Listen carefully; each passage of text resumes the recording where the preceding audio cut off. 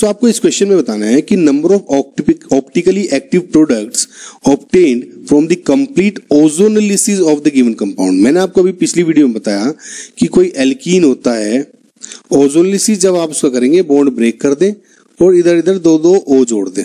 जब मिलाना हो तो इनके आपस में पिचका दें। सो so, अब जब इसका ओजोनलिसिस होगा अब क्या क्या है कंप्लीट ओजोनलिसिस यानी सारे डबल बॉन्ड को ब्रेक कर दें। राइट ये बॉन्ड ब्रेक हो जाएगा, ये और ये भी बॉन्ड ब्रेक हो जाएगा। इसके बाद क्या है? Number of optically active compounds पूछे हैं।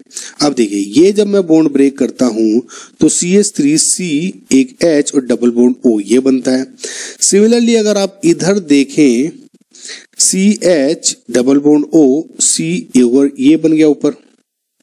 एक इधर इधर एच और यहाँ पर C H double bond O मेरी राइटिंग थोड़ी गंदी हो रही है गाइज़ लेकिन आई होप आपको ये समझ में आ रहा होगा।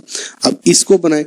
C H double bond O C ये एक एच ऊपर है अबव द प्लेन एक C S C below the plane है C H double bond O similarly ये बचा last H double bond O C S three C right now अब इसमें आपको ये बताना है गाइज़ कि ऑप्टिकली एक्टिव कौन सा है? ऑप्टिकली एक्टिव कंपाउंड होने के लिए गाइज़ आपका कायरल सेंटर होना ज़रूरी है।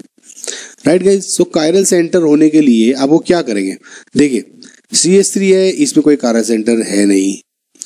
इस, क्योंकि कायरल सेंटर के लिए सबसे पहला है guys SP three hybridise carbon होना चाहिए। टेट्राहेड्रल सेंटर तो ये तो है ही नहीं।